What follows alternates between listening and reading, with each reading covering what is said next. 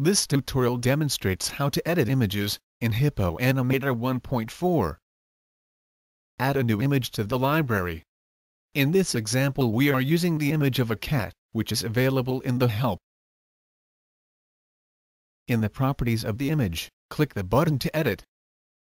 This image is much bigger than it needs to be. We don't want all this empty space when we export to HTML. It will take too long to download. Choose Crop from the toolbar. Then select only the cat. The image will be cropped to a better size. Close the image editor. Then, drag the cat image to the editor. Create a duplicate of the image, in the library. This will be the cat's shadow. In this example we renamed the new image, Shadow.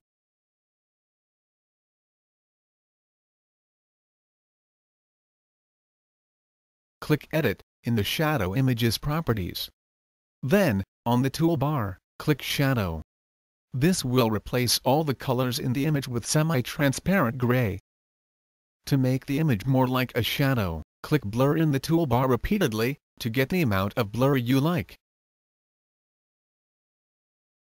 Close the image editor, when you are happy with the shadow image.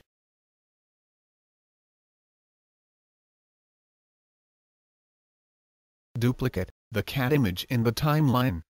Then, swap the bottom image to the shadow image. Finally, lock the cat image in place.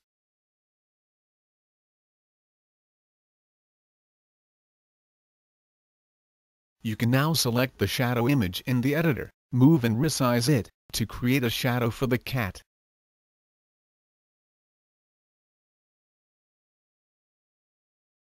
The shadow could even be animated.